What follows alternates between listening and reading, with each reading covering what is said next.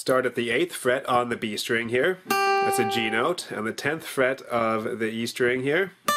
That's a D note. So we have a G power chord here. And we're going to start by playing an open G. Then we hit the E string, then the B string, and then the E string again.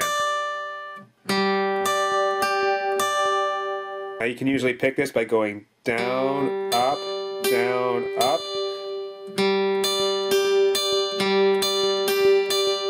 Sometimes I like to go down, down, up, down.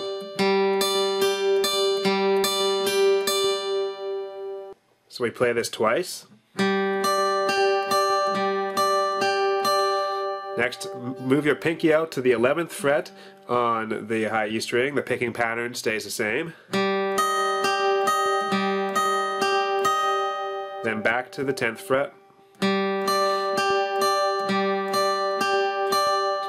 And now you're going to flatten your index finger along the 8th frets of the B and E strings here. Start again with that open G.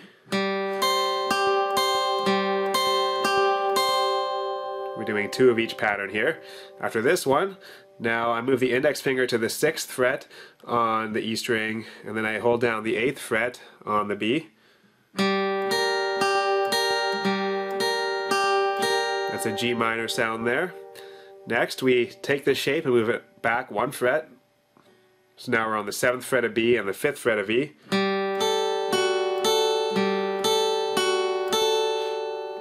After this, we go to the 3rd fret on the E string and the 4th fret on the B. Start with an open G.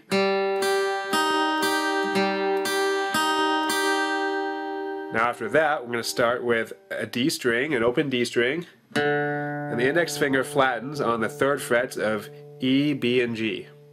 And we play starting with the high E string, then the B, then the G. So an open D, E, B, G. That gets played twice. After that, we make a D major shape, second fret of E, second fret of G, third fret of B, and start with your pinky also holding down the third fret of the E string like so. Let me play this. And then let go of the third fret on E and strum down for a D major chord. So that last part there was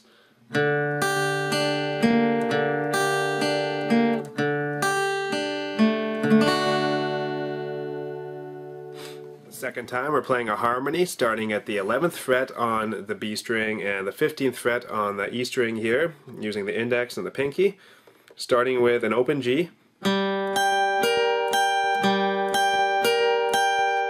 After two of those next the index finger comes up and plays the 13th fret of B while the pinky holds down the 15th fret of E. Now the index finger goes back to 11 on B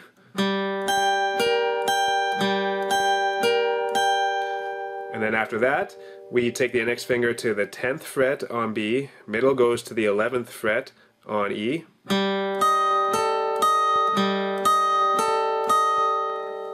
After that, the index finger goes down to the 10th fret on E and the middle comes up to the 11th fret on B.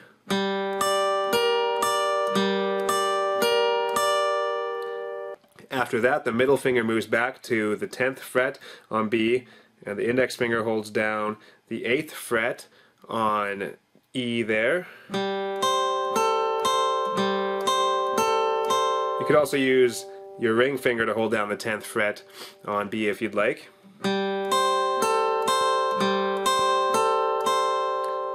And after that we have one more shape which is we take this to the 8th fret on B and the 6th fret on E.